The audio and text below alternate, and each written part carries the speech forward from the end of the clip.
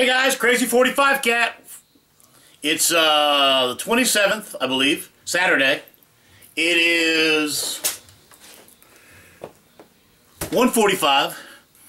Just got home. Oh yeah, Trump, baby. Long sleeve shirt today. 55 degrees out. Unbelievable.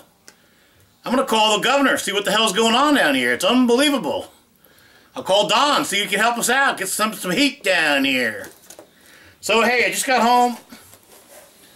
And I got a box outside priority mail. Hey, just happened to have an AFCK Advanced Folding Combat Knife on me. Benchmade, baby. My EDC for goddamn 30 years, I'll bet you. I have four or five of them laying around the house. Just love that knife. I can't get enough of it. Love that serrated edge. And it's sharp, baby. I sharpen this one all the time. Definitely take the hair off a pig. Hey! Oh, yeah. Glock 42. Plus two on there. Nine rounds, 380. And... Look at that. Oh, yeah. Winchester bonded. And a spare 8 rounder in my pocket. With some other stuff, you know, it's no big deal. So, I got this thing in the mail today. I know who it's from.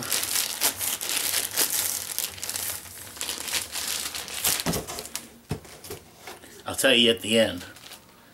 So, looks like some kind of a flag or something, you know? I don't know. See if we can see this. I'll do it this way.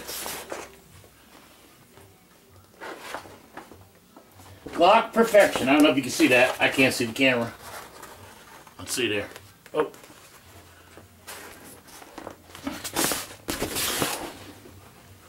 There you go. Glock Perfection. Man, I have wanted one of these for years, brother. Matt. MBR 31. I guess I think that's it. And his lovely wife Sarah sent me this for my birthday, man. That's the coolest thing ever.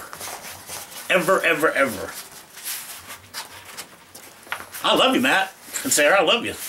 Perfect. I, you couldn't have got me a better gift, period, than that. I just showed you. I'm wearing a Glock. You know, I'm a Glock guy. So thank you very much. And man, I'll be smiling all day. Be... Dee came in a little while ago and uh, asked me where I was going to put it. I told her right over her bed. See you guys. I'll be at the Holiday Inn when that happens. Gotta go.